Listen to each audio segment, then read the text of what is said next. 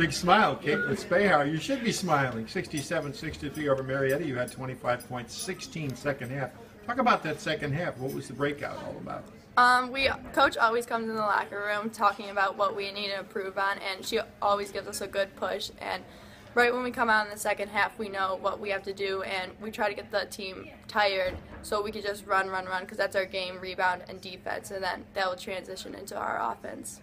A little bit different team this year than last when you had such great success, but the results are looking remarkably similar. Any one or two things that are falling in place for you this year as a team? Um, definitely just working together. Like we're a really close team this year as of last year, and we just our main focus is just rebound and defense.